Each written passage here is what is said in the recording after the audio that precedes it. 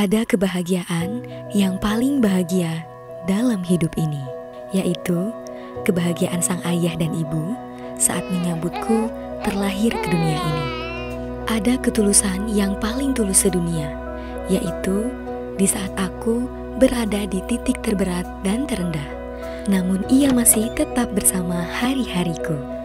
Ada persahabatan yang jauh lebih indah dari semua sahabat, yaitu persahabatan yang lillah sampai jannah.